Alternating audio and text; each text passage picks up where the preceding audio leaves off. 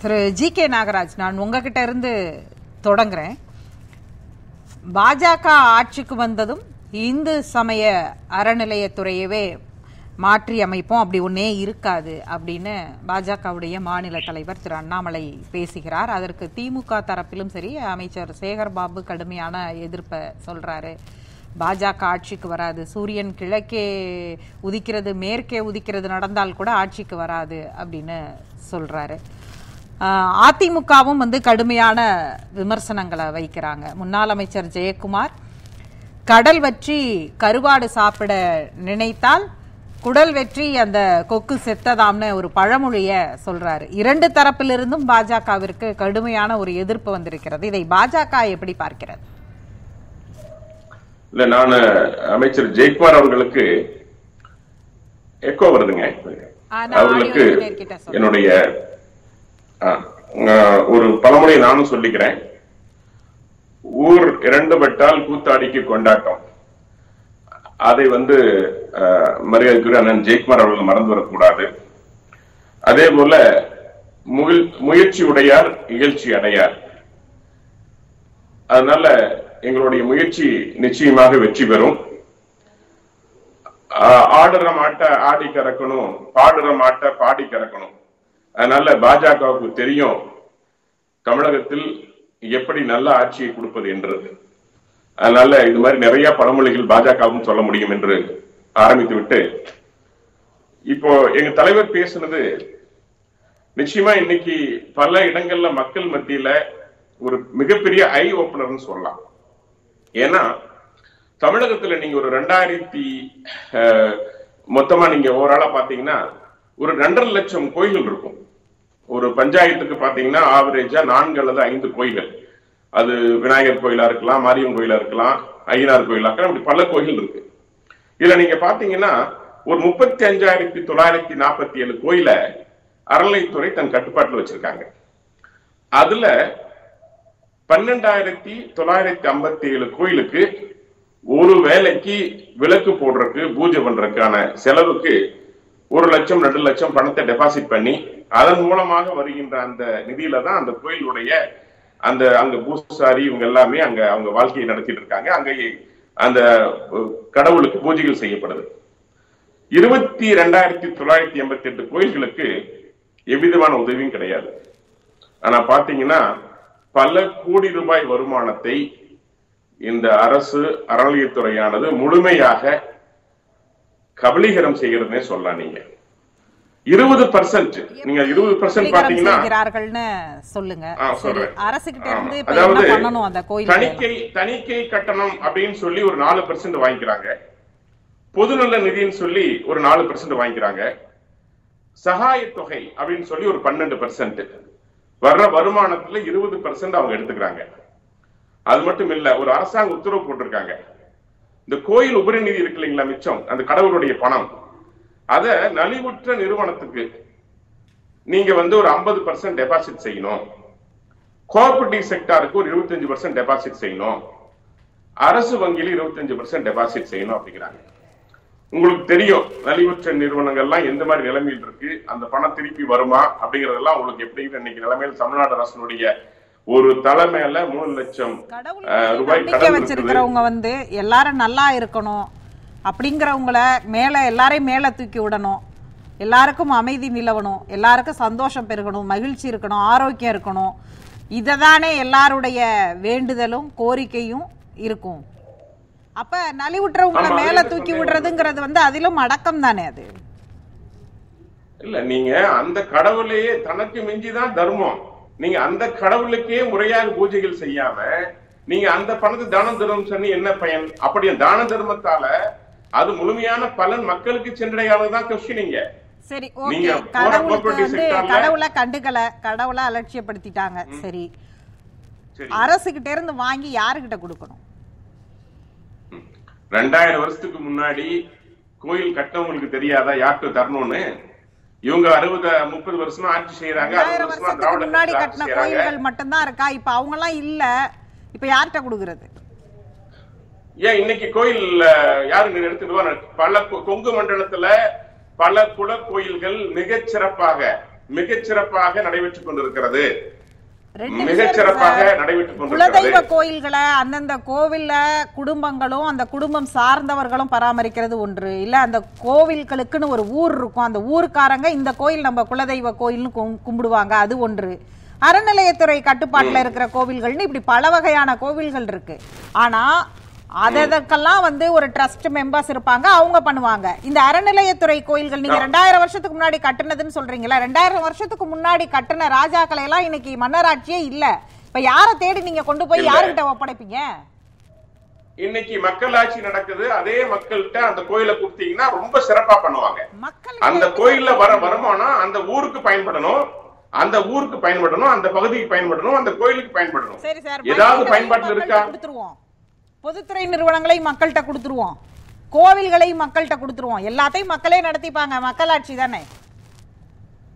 மக்கள் மக்கள் கோஆபரேட்டிவ் பேங்க மக்கள் தான் நடத்துறாங்க. பிரச்சனையே அரசியல் தலையீடுனால தான் கோஆபரேட்டிவ் செக்டார் லாஸ்ல போயிட்டு இருக்கு நீங்க ஆவில் ஆவின் நிறுவனத்தை உதாரணத்தை எடுத்துக்க விவசாயிகளுடைய நிறுவனம் விவசாயிகள் நடத்தினா சிறப்பா நடக்குது. யாரோ ஒருத்தவங்களுடைய கட்டுப்பாட்டின். கீழ் தானே நடக்கணும். எல்லாத்தையும் அரசு கிட்ட இருக்கணும். அரசு கிட்ட இருந்தாதான் அது சரியா இருக்கும்னு சொல்றவங்க. கோவில்களை மட்டும் ஏன் தொடர்ந்து அரசு கிட்ட இருக்க கூடாது. ஆனா யாருகிட்ட இருக்கணும்னு கேட்டா மக்களுங்கிறீங்க. அந்த மக்கள் சோகால்டு நீங்க சொல்ற மக்கள்ங்கிறவங்க யாரு? பல இடங்கள்ல ட்ரஸ்ட் மூலமா ட்ரஸ்ட் அமைச்சு மக்களாக சேர்ந்து அந்த கோயில் நடத்திட்டு இருக்காங்க. அரசின் தலையீடு இல்லாமல் சிறப்பாக நடத்தி கொண்டு நடைபெற்றுக் கொண்டிருக்கிறது. அதை பாஜக. தனியா மக்கள் கிட்ட ஒரு குறிப்பிட்ட நபர்கிட்ட கொண்டு போய் எப்படி சார் அரசுடைய சொத்துக்களை கொடுக்க முடியும்? சரிங்க நான் கேக்குறேன். நீங்க கேக்குற கேள்வி சரியானதா இருந்தாலும் கூட இன்னைக்கு மசூதிகளும் சர்ச்சுகளும் அரசின் கட்டுப்பாட்டில் இயங்கி கொண்டிருக்கிறது. எல்லாம் இருக்கு? அரசுக்கா சென்று கொண்டிருக்கிறது. அந்த அந்த வருமானங்கள் எல்லாம் அரசுக்கா சென்று கொண்டிருக்கிறது.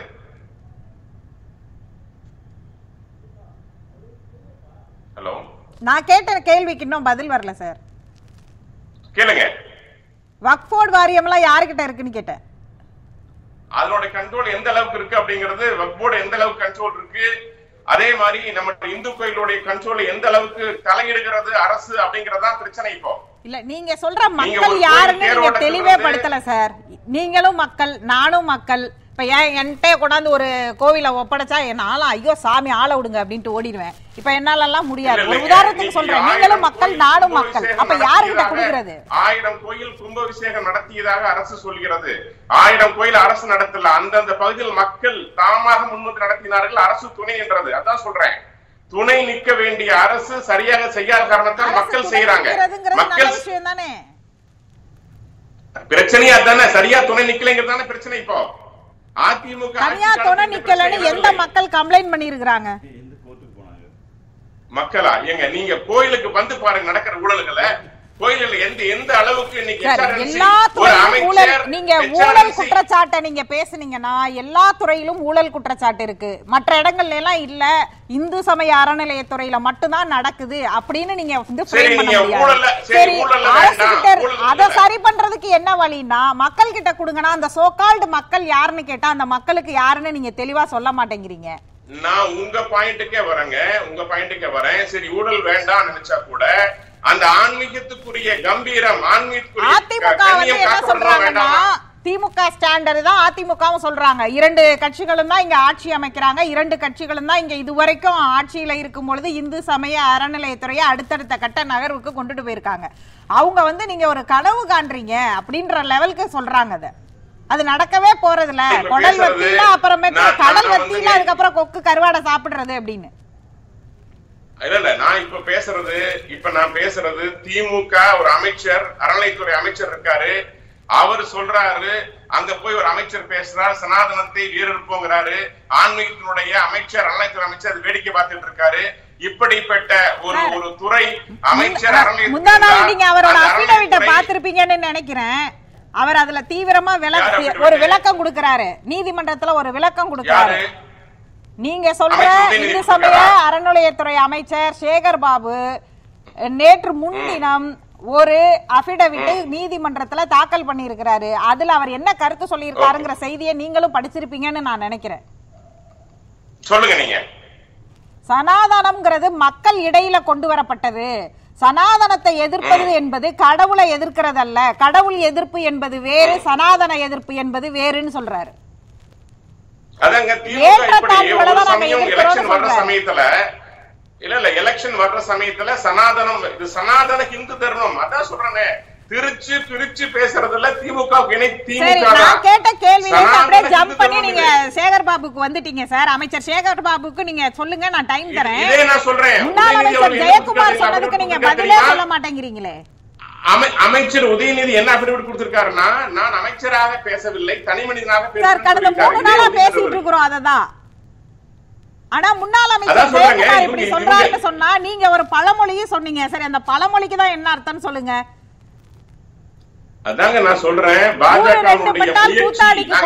சொல்றீங்க. அந்த. பழமொழிக்கும் முன்னாள் பாஜக அமைச்சர் ஜெயக்குமார். சொல்றதுக்கு என்ன அர்த்தம்? இல்ல பாஜக அவர் அமை அவர் சொல்றாரு கொக்கு கொக்கு காத்து இருக்கும் மீன் கிடைக்காது குடல் கறியுங்க குடல் கறிக்கு கொக்கு இருந்ததுன்னு சொல்றாரு. நான் சொல்றேன் நான் பல இதுகள் சொல்றேன். முயற்சி உடையார் இயற்சி அடையார். நிச்சயமா எங்கள் அது முயற்சி எனக்கு புரியுது சார். அது ஒவ்வொரு கட்சிக்கும் தேவை. அந்த கட்சியுடைய அடிப்படையில உங்கள் உரிமை சார்ந்து உங்க முயற்சி சார்ந்து உங்கள் உழைப்பு சார்ந்து நீங்க பாக்குறது சரி. ஆனா நீங்க இதுக்கு முன்னாடி என்ன சொன்னீங்க? ஊரு ரெண்டு பட்டா கூத்தாடிக்கு கொண்டாட்டம்ங்கிற பழமொழிய அவருடைய பழமொழிக்கு பதில். பழமொழியா நான் சொல்றேன்னு ஓபனிங்ல சொன்னீங்க. அதுக்கு என்ன அர்த்தம்? ஆமா. உண்மைதான். நீங்க ஆன்மீகத்தை எடுத்துட்டா அம்மையார் ஜெயலலிதா அவர்கள் இருந்த போது ஒருபோதும் திமுகவை போன்று அறநிலையத்துறையோ கடவுளையோ விமர்சித்தது இல்லை. இன்னைக்கு திமுக ஆட்சியில அந்த விமர்சனம் செய்யறாங்க. அதை கண்டிக்க வேண்டிய பொறுப்பு அண்ணா திமுகவுக்கு இருக்கிறது. நான் தான் சொல்றேன். நீங்கள் வந்து அதை கண்டிக்காம நீங்க அதை- அதற்கு நீங்க துணை போன என்றால் இந்த ஆன்மீகமானது பாஜக. எதிர்ப்புங்கிறாங்க நீங்க வந்து அவங்க திமுகவை. கண்டிக்கணுங்கிறதுக்கு கண்டிச்சுக்கிட்டு தான் இருக்கிறாங்க ஆனா நீங்க அறநிலையத்துறையை தூக்கி நீங்க சொல்ற சோகால்டு அந்த மனிதர்கள்ட்ட மக்கள்கிட்ட கொடுக்கறதுன்னு சொல்றீங்க இல்லையா அந்த சோகால்டு மக்களை தான் அதிமுகவும் எதிர்க்குது திமுக என்ன ஸ்டாண்டோ அதே ஸ்டாண்டு. அதிமுக அதுல நான் நான் நான் என்னோட எங்களுடைய பாயிண்ட் அதான் சொல்ல வரோம். இன்னைக்கு அறநிலையத்துறையில ஊழல் மட்டுமல்ல அறநிலையத்திற்குரிய மாண்பு மரியாதை கெட்டுக்கொண்டு இருக்கிறது நீங்க அந்த கோயில் முன்னாடி ஒரு ஒரு ஒரு ஒரு ஒரு போர்டை வச்சுக்கிட்டு அந்த போர்டுல கடவுள் இல்லைன்னு சொல்றாங்க. உதாரணத்துக்கு நீங்க ஒரு ஹோட்டல்ல போய் ஒரு உணவகத்துல சாப்பிடுறீங்க. நீங்க சாப்பிட்டதுக்கு பணம் தர்றீங்க. வெளியே திருப்தியோட வர்றப்போ வெளியே ஒரு போர்டு வச்சிருக்காங்க. நீங்கள் சாப்பிட்ட உணவில் விஷம் இருக்கிறது என்று சொல்றாங்க அப்படின்னா உங்களுடைய மனநிலை எப்படி இருக்கும்? அதைத்தான் இன்னைக்கு நீங்க சொல்ற உதாரணம் வந்து உங்களுடைய கற்பனைக்கு வளத்துக்கு எட்டுனதா தான் இருக்குது சார் எந்த ஹோட்டல்ல உண்மையாவே வந்து உணவளிக்கணும்னு ஹோட்டல் பிசினஸ் பணத்துக்காக ஹோட்டல் பிசினஸ் பண்ணா கூட சாப்பிட்டுட்டு வெளியில வர்றவங்களுக்கு நீங்க சாப்பிட்ட உணவுல விஷம் வச்சிருக்கன்னு எவரும் வைக்க மாட்டாங்க போர்டு ஒரு காலம் அதுதான், நடக்காது. அதுதான், அதுதான் நீங்க ரொம்ப மிஞ்சின கற்பனையா. பேசுறீங்க சார் யதார்த்தத்துல- சரி அரசு கிட்ட இருக்க வேணாம் நம்புவது யாருகிட்ட கொடுக்கலாம்னா மக்களுக்கு என்ன அர்த்தம் நான் கேக்குறேன். என்ன அர்த்தம் நான் கேக்குறேன். கோயிலை விட்டு வெளியே நம்பிக்கையோட போய் மனதையும் கூட கும்பிட்டு வரீங்க. வெளியே வர்றப்ப கடவுளை நம்புவன் முட்டாள் சார், அப்படின்னு நேற்று- சொல்றப்ப நேற்றைக்கு என்ன வந்து எதை எடுத்துக்கணும் பெரியார் நான் சிலையெல்லாம் கேக்குறேன். அகற்றுவோம்னு சொல்றாரு பாஜக ஆட்சிக்கு வந்தோனே. இன்றைக்கு வந்தோனே பாஜகவுடைய மாநில தலைவர் என்ன சொல்றாரு? பொது இடத்துல வைப்போம்னு. அதுவே பொது இடத்துல தானே சார் இருக்கு.